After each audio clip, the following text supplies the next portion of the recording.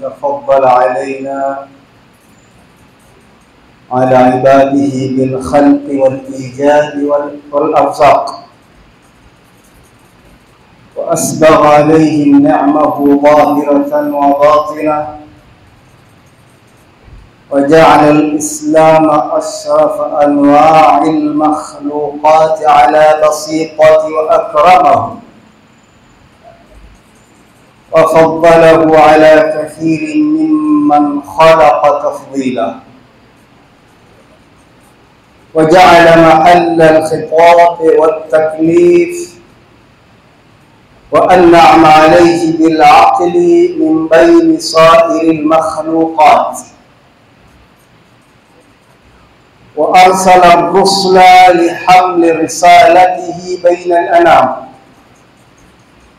مبشرين ومنذرين لئلا يكون للناس على الله حجة بعد الرسل. وكان الله عزيزا حكيما. وأشهد أن لا إله إلا الله وحده لا شريك له وهو الواحد القهار. وأشهد أن سيدنا محمدا عبده ورسوله النبي المختار صلى الله عليه وعلى آله وأصحابه وأنصاره البررة الكرام. صلاة وسلاما دائمين متلازمين إلى يوم العرض والحساب. أما بعد. قال الله تعالى بعد أعوذ بالله من الشيطان الرجيم. بسم الله الرحمن الرحيم. سبحان الذي أسرى بعبده ليلا من المسجد الحرام إلى المسجد الأقصى الذي باركنا حوله لنريه من آياتنا. إنه هو السميع البصير. صدق الله. أيها الناس أوصي نفسي وأوصيكم وأوصيكم بتقوى الله. واعلموا أن الله سبحانه وتعالى أوصانا بالتقواه كما أوصى الذين مضوا من قبلنا. كما قال الله سبحانه وتعالى ولقد وصينا الذين أوتوا الكتاب من قبلكم وإياكم أن اتقوا الله. أيها الإخوة فإن تقوى الله رب العالمين فإنها عز وحرز في الدنيا والمرجع. فاستمسك بها تنل ما تشتهي وتدعي. ومن أهمل عمل التقوى تغشته في العقبى فنون الندامة. فاتقوا الله يا عباد الله. معشر الحاضرين الإسلام والإسلام وتقوفوا بعد يا ممحنين الله جل جلاله نبتكي زيادة رحمة الأمان نبي محمد صلى الله عليه وسلم نبوسيني لكن بي نبوسي نفسي عنه يوم الله سبحانه وتعالى. Ndugu zangu Waislamu watukufu, tushikamane na vazi la takwa Allah, kwa kuwa ndio wasia wa Allah subhanahu wa ta'ala aliyoutoa kwa nyumati zilizopita, nasi tumche Allah subhanahu wa ta'ala. Ndugu zangu Waislamu watukufu, hakika mafanikio ya mwanadamu katika ulimwengu na kesho akhir yapo katika taqwa Allah, bimaana katika kumcha Allah subhanahu wa ta'ala. Lakini khasara, majuto na kufeli kwa mwanadamu katika dunia na kesho akhir yapo katika kuachana na jambo la kumcha Allah subhanahu wa ta'ala. Ndugu zangu Waislamu watukufu, tushikamane na hili jambo la kumcha Allah katika haya maisha mafupi mpaka kuondoka katika uhai huu wa kidunia. Shikamana nalo sana jambo hilo, ndugu yangu Muislamu. Ndugu zangu Waislamu watukufu, baada ya utangulizi huo, hotuba yangu ya leo itanasibiana na aya nilizozisoma zinazopatikana katika suratu Bani Israil, sura ambayo ilieleza tukio maalum la safari ya Mtume Muhammad sallallahu alayhi wasallam, safari ambayo imenasibishwa na kwamba ni Isra ya kupelekwa kwa Bwana Mtume sallallahu alaihi wasallam kutoka katika msikiti wa Haram kwenda katika msikiti wa Baitul Muqaddas ambao upo katika nchi ya Palestina. Na lengo si kueleza tukio lilivyo, lengo kwa kuwa ni tukio la kielimu kama ilivyokuja, wanavyoni wameeleza sababu kubwa za safari hii ya Mtume Muhammad. Miongoni mwa malengo na falsafa kubwa ya safari hii ilikuwa ni safari ya kimafunzo, bimaana ni safari ya kielimu. Sasa kwa kuwa ni safari ya kielimu, hapana shaka ndani ya matukio yaliyopatikana katika safari hii kuna ilmu nyingi, kuna mambo makubwa ya kuwa na ibra kwetu sisi ya kuyazingatia na kuyachukua ili tuishi nayo na tufaidike katika maisha yetu. Lakini lengo la pili kama walivyosema wanavyoni lilikuwa ni atasliyatun wa takrimi. Lengo la safari hii ya Mtume Muhammad ilikuwa ni atasliya, kuiwazwa, kupendelezwa kwa Bwana Mtume Muhammad sallallahu alayhi wasallam kwa yale yaliyomfika katika mambo mazito na misukosuko iliyokuwa mikubwa ambayo haina mifano. Tukirejea nyuma kidogo, kabla ya tukio lenyewe, mwaka wa kumi tangia Mtume Muhammad alipopewa utume kwa sababu tukio hili la Israa kama walivyosema watu wengi wa tarehe lilikuwa ni mwaka wa kumi na moja tangia alipopewa utume Muhammad sallallahu alaihi wasallam, wakisema ni kabla ya miezi kumi na nane ya kufanya hijra, bimaana ya kuhama kutoka Maka kwenda Madina. Tukio hili la kupelekwa kwa Bwana Mtume Muhammad basi lilitokea katika mwaka wa kumi na moja min albitha tangia alipopewa utume Mtume Muhammad sallallahu alaihi wasallam. Kwa hiyo tukiuangalia mwaka wa kumi ambao ni mwaka katika tarehe na wanavyuoni waliwaandika vitabu vya tarehe waliita au waliita mwaka huu kwamba ni amul huzni, ni mwaka wa masikitiko, ni mwaka wa huzuni mkubwa sana. Kwa sababu gani? waliomfika Mtume Muhammad sallallahu alaihi wasallam. Yaliyomfika ni mambo gani?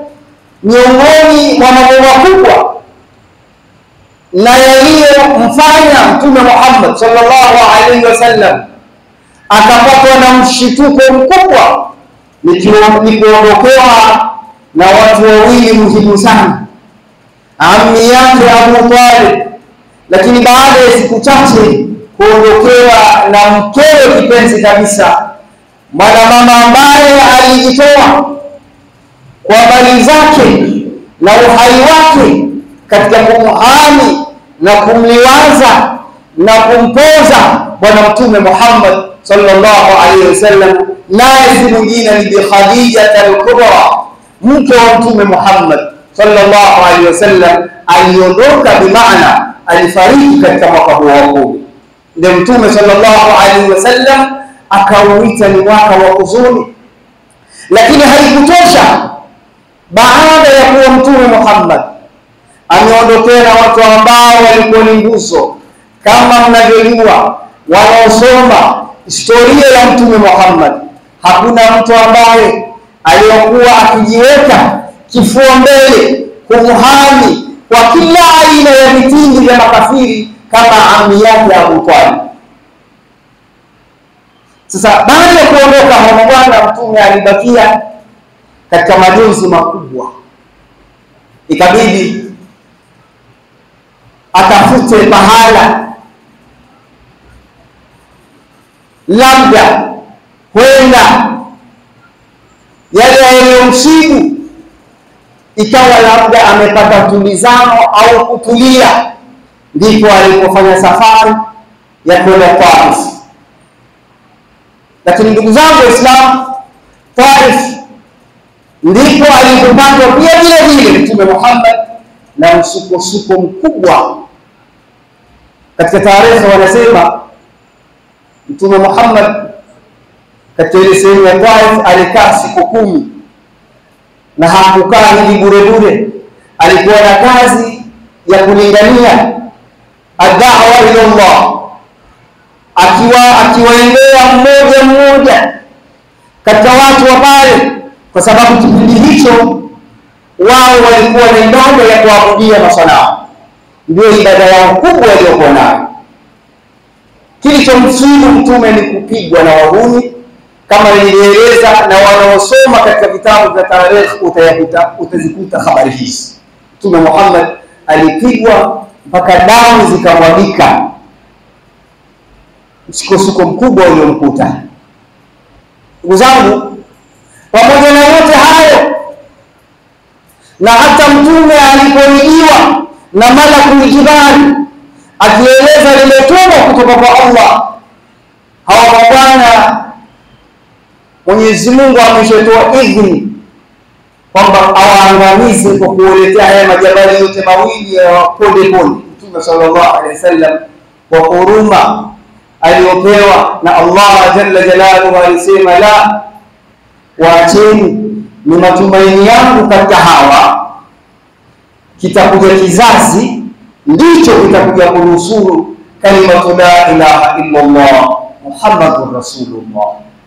Ndugu zangu Waislamu tukufu, kwa kifupi, ukiona haya ni mambo mazito yaliyomsibu, na baada ya kutoka Taif aliporudi katika mji wa Makka, ndipo safari hii Mtume Muhammad alipoandaliwa safari ya Isra, na wanavyuoni ndipo wakainathibitisha kwamba ni safari ya taslia, ni liwazo kwa yale yaliyompata Mtume Muhammad. Allah jalla jalaluhu alimwandalia safari hii Habibullah, kipenzi cha Allah subhanahu wa ta'ala. Ndugu zangu Waislamu, kwa haraka haraka, safari hii inayo mengi ambayo Mtume Muhammad kama nilivyosema, ni safari ya kimafunzo, lakini ni mambo alikionyeshwa ambayo yatatokea baadaye, ni mifano. Alienda kusomea elimu ya vitendo, kuonyeshwa kila kitu. Na ndio maana kila alikiona jambo alikimuuliza mwalimu wake Jibril, na huku akimfahamisha. Huu ni mfano kadha, hawa ni watu kadha, mwisho wao utakuwa hivi. Sasa miongoni mwa mambo ambayo Mtume Muhammad aliyoyaona katika safari hii, Mtume Muhammad katika kupita kwake alipata harufu nzuri sana inayonukia. Safarini, wakati yuko katika safari, alifika pahala amekutana na harufu nzuri sana. Mtume Muhammad kwa kuwa yuko na mwalimu wake na yuko katika safari ya kujua mambo mbalimbali, basi alimuuliza Jibril, hii ni harufu ya nini? Sidna Jibril akamwambia hii ni harufu ya mfanyakazi wa Firaun. huyu mfanyakazi wa Firaun alikuwa ni mfanyakazi ambaye kazi yake ilikuwa ni moja tu, alikuwa yeye ni msusi wa binti wa Firauni. Firauni kama mnavyojua, yeye alidai kwamba ni ana rabbukumul a'la, alifikia daraja ya kujiita yeye ni nani? Ni Mungu. Sasa katika kasri la Firauni kulikuwa kuna mfanyakazi kama mnavyojua Mwenyezi Mungu wale aliojalia uwezo akawakundulia dunia, basi ukienda nyumbani au katika nyumba zao, kila watu wamewekwa katika madaraja. Kuna watu kazi yao ni kuangalia bustani tu, kuna watu kazi yao ni kuangalia watoto wa shule, nguo za watoto wa shule, hakadha.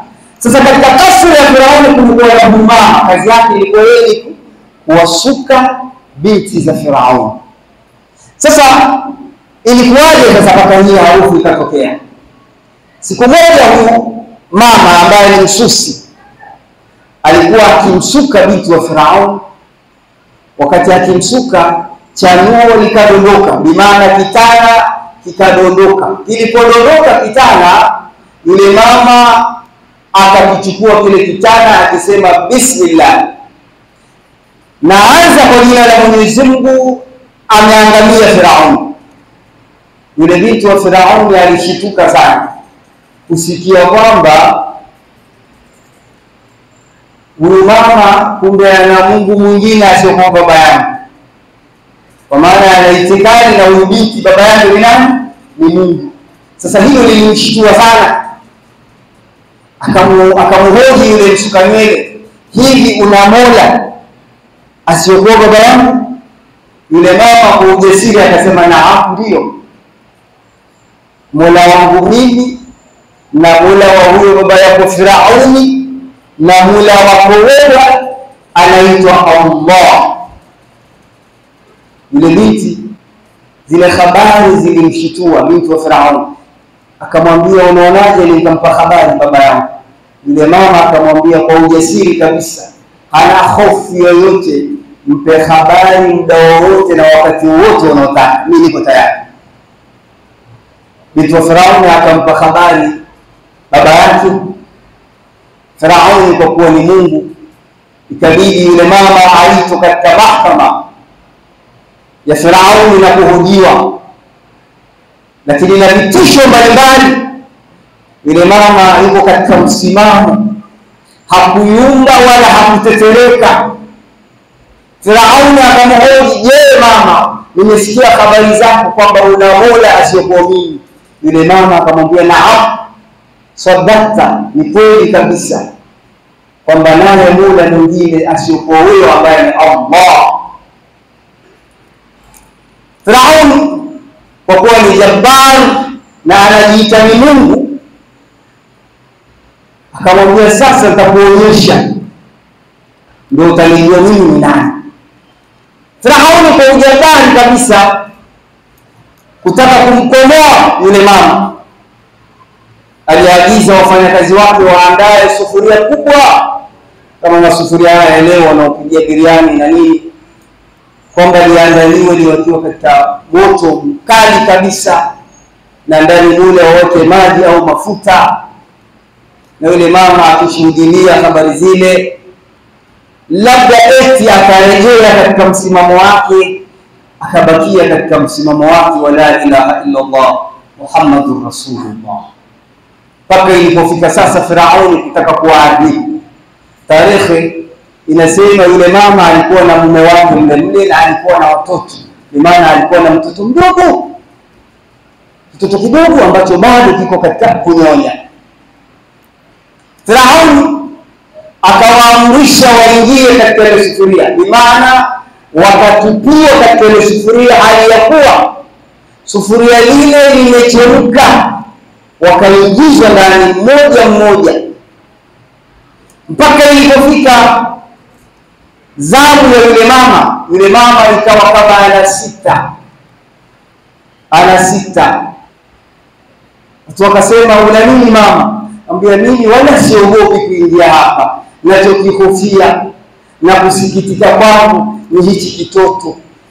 hichi kitoto kina makosa gani mpaka na kiingia katika moto?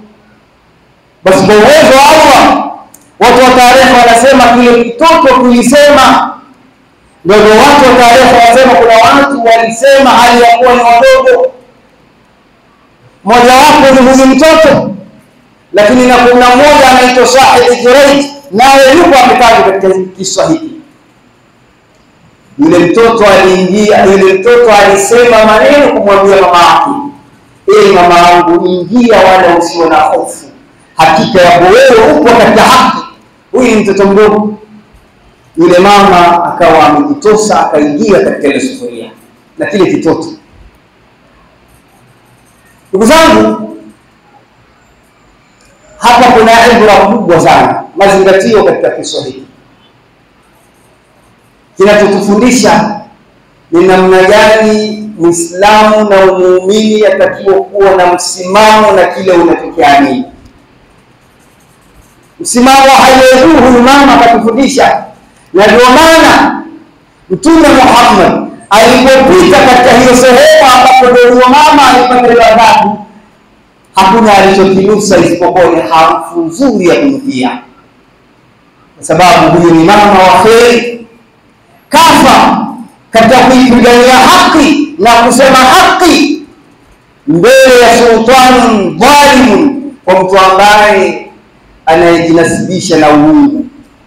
Kwa hiyo ndugu zangu, kuna mazingatio makubwa sana. Ayuha nnas, yaqulu Allah subhanahu wa ta'ala, fa idha quri'a al-Qur'an fastami'u lahu wa ansitu la'allakum turhamun. Qala azza min qa'ilin 'alim فإذا قرأت القرآن فاستعذ بالله من الشيطان الرجيم بسم الله الرحمن الرحيم سبحان الذي أسرى بعبده ليلا من المسجد الحرام إلى المسجد الأقصى. الذي باركنا حوله لنريه من آياتنا. إنه هو السميع البصير. بارك الله لنا ولكم القرآن العظيم.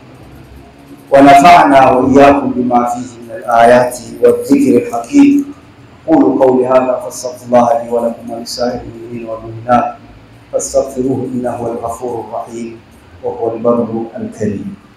والصلاة والسلام على المصطفى وعلى آله وصحبه أولي الوفا أما بعد. معشر الحاضرين أوصي نفسي وأوصيكم بتقوى الله. فاتقوا الله يا عباد الله. معشر الحاضرين zangu Waislamu watukufu, miongoni mwa mambo Mtume Muhammad sallallahu alaihi wasallam aliyoonyeshwa katika safari yake ni kuona mfano wa ng'ombe mkubwa, ng'ombe mkubwa ametoka katika kishimo kidogo. Ng'ombe ni mkubwa, lakini cha kushangaza, huyo ng'ombe katokea katika kishimo kidogo. Mtume Muhammad sallallahu alaihi wasallam akamuuliza Jibril, huu ni mfano wa nini huu? Jibril akamwambia, huu ni mfano wa watu watakaokuwepo katika umma wako kwa kifupi ni wale wenye kulopoka maneno mazito. Kuna mtu anaweza akasema neno mpaka mwenyewe ukashituka, neno zito. Sasa maal asaf, baada ya kulitoa lile neno, anatamani tayari lishaenea, na siku hizi ulimwengu umeendelea. Kuna vyombo kama hivi, unaposema neno baada ya dakika kumi dunia ulimwengu mzima umeenea jambo lile. Hapa kuna mafundisho makubwa sana, ni namna gani wewe kama Muislamu unaposimama au unapotaka kusema chochote, kwanza kipime katika mizani ya akili kipime kwanza kabla ya kusema.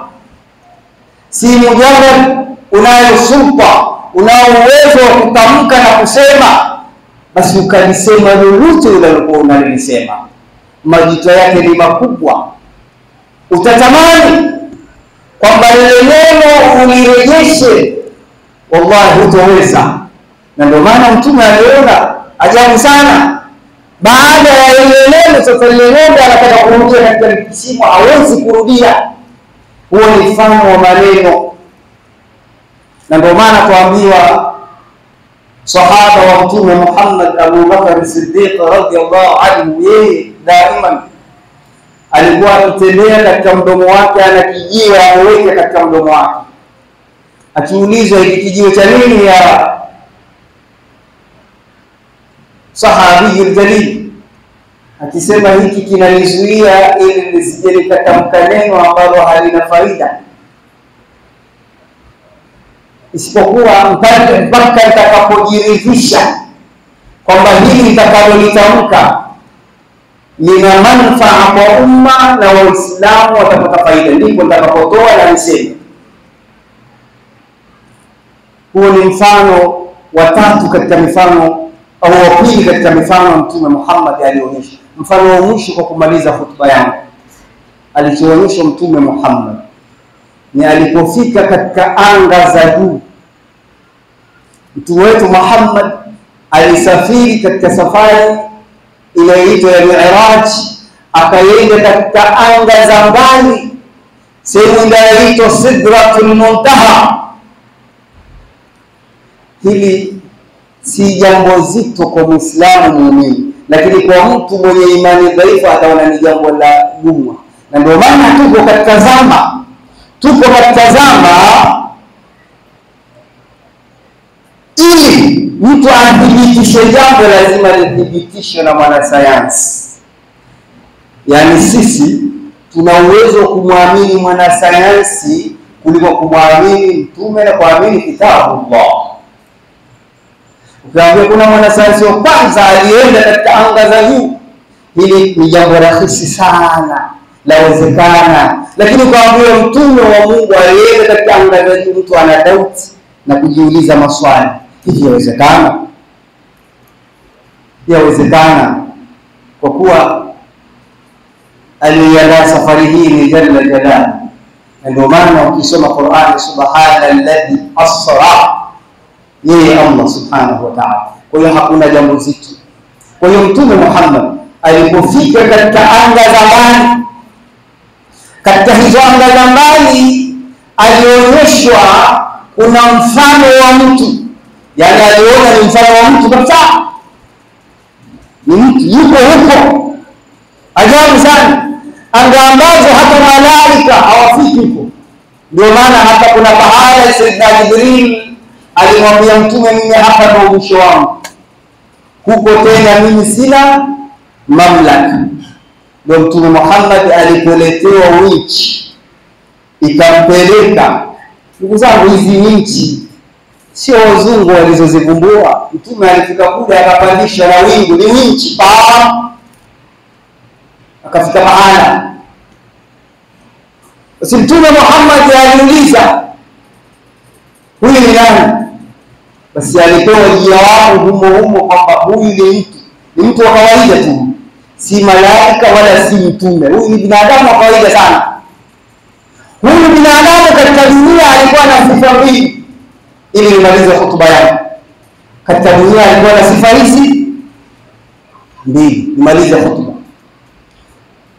Ni zipi hizo? Sifa ya kwanza, huyu mtu mpaka kafika daraja za juu hizi ambazo hata mtume yoyote afiki wale malaika. Huyu bwana katika dunia yeye moyo wake ulifungamana na misikiti, yaani yeye hakuna kinachomkera, hakuna kinachomfurahisha, ni msikiti. Ndio maana katika daraja hii yeye yuko karibu sana, hata akiwa nje, akiwa kwenye kazi zake, lakini moyo wake uko msikitini.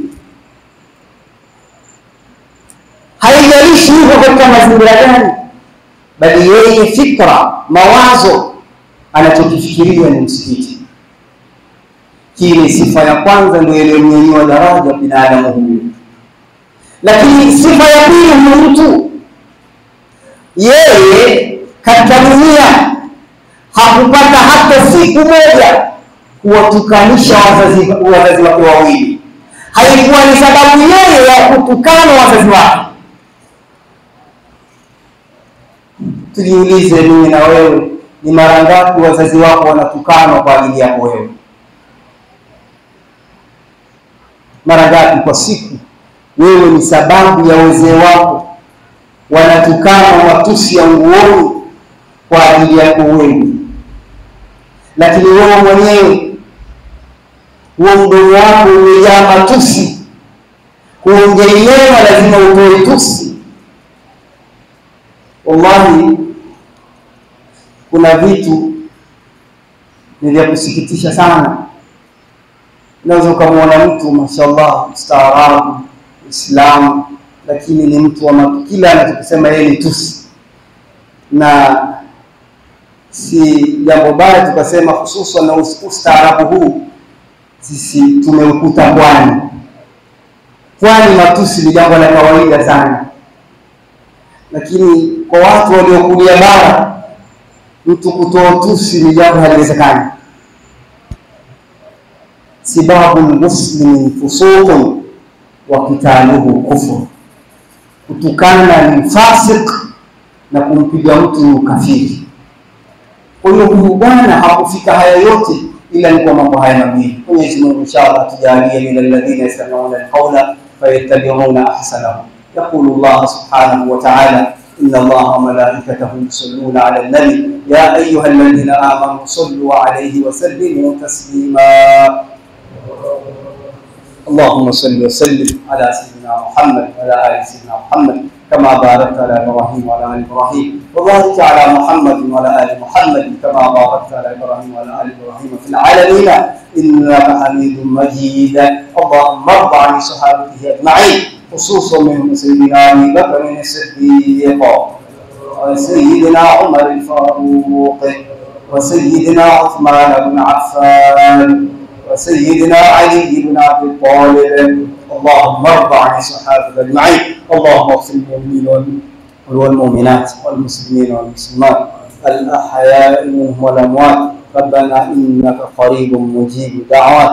يا قاضي الحاجات ويا كافي المهمات برحمتك يا أرحم الراحمين. وصلى الله على سيدنا محمد وعلى آله وصحبه وسلم. والحمد لله رب العالمين عباد الله ان الله يامر بالعدل والاحسان وإيتاء ذي القربى وينهى عن الفحشاء والمنكر والبغي يعظكم لعلكم تذكرون وأقيموا الصلاة Je, umekuwa ukisumbuka mara kwa mara, biashara haziendi vizuri, wachawi wanga wanakusumbua, watu wanakuonea kijicho kutokana na mafanikio yako? Mkombozi amepatikana, dawa bora kabisa ya kutoa nuksi, kuondoa wachawi, wanga, gere, vijicho, mikosi na gundu ni Ngaka. Ngaka ndiyo mkombozi wao, inakinga na kusafisha miili yetu pamoja na majumba, maofisi, mashamba, viwanja na kadhalika. Dawa hii ya Ngaka imetayarishwa na Dr. Bihizi, anapatikana WhatsApp namba jumlisha 2551552496 ama jumlisha 255 787524946. Huyu ni Dr. Bihizi, mtaalamu wa ngaka, mkombozi wa wachawi pamoja na gundu. Tunapatikana Magomeni Mikumi jijini Dar es Salaam, mtaa wa Mikumi mkabala na mtaa wa Chekanao A, karibu na yadi ya IRM. Nyote mnakaribishwa.